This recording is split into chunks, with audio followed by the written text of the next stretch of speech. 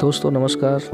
मैं हूँ दंडक ब्लॉग से मेघ प्रकाश शेरपा आपका स्वागत करता हूँ। हमारे इस वीडियो की पहली कड़ी है, जिसमें आज हम आपको बस्तर के चर्चित हस्तकला कारीगर श्री विलियम मिखाइल के बारे में बताना चाहेंगे।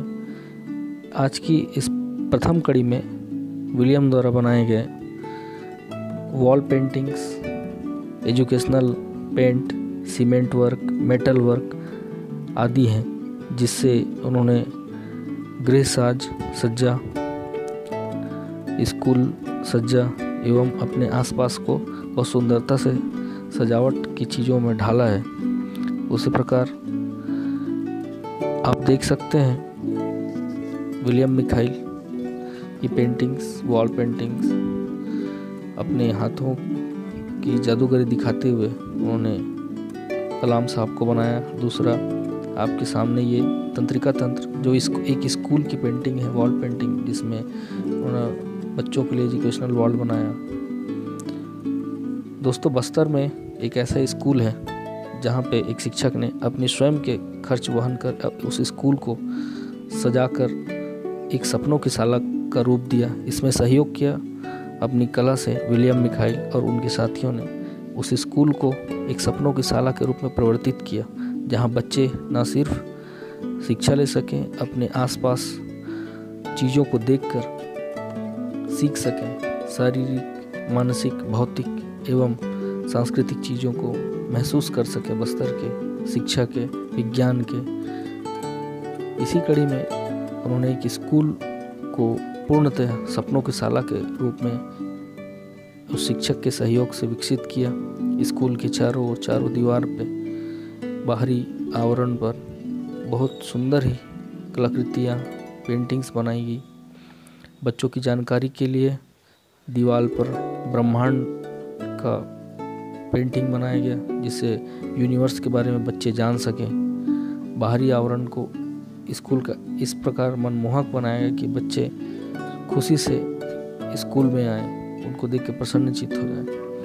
अपनी कलाकारी दिखाते हुए विलियम ने स्कूल की छत पर उड़ते हुए चिड़िया बाज को लटकाया रस्सी के सहारे, साथ ही ऊपर बादल बनाया।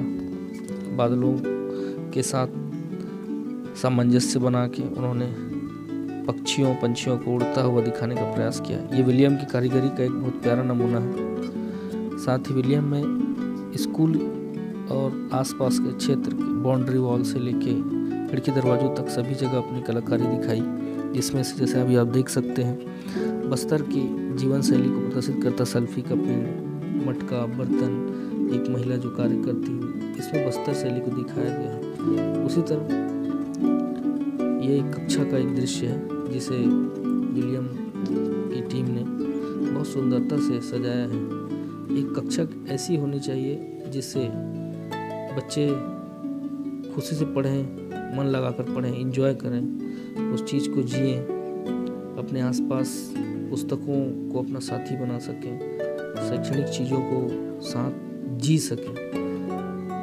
इन्हीं सब चीज़ों को ध्यान में रखते हुए ये एक पीछे की दीवार में धरती, आकाश और वृक्ष को साथ में दर्शाया गया है। विज्ञान के चमत्कार, आइंस्टाइन सबसे बड़े और बुद्धि एक मॉडर्न आर्ट को प्रदर्शित करता हो ये कला जो आप अभी देख रहे हैं, पीछे की बाहरी दीवारों पर भी विलियम द्वारा बहुत ही सुंदर चित्रकारी की गई, जिससे पीछे की दीवारों की शान बढ़ गई। साथ ही सेट के पीछे जहाँ भी छोटे मोटे जगह बचे, जहाँ बच्चों का आना जाना आवागमन है, वहाँ पर विलियम ने पुस्तकों का पेड़ पौधों का बहुत ही सुंदर चित्रण किया है। दोस्तों, अगर आपको यह वीडियो पसंद आया है तो इसे लाइक करें, सब्सक्राइब करें और कमेंट करें, ताकि हम और अच्छे अच्छे वीडियो आपके लिए लाते रहें। वस्त्र आर्ट वस्त्र कला को आपके समक्ष बिल्कुल समय समय पर लाते रहेंगे। धन्यवाद।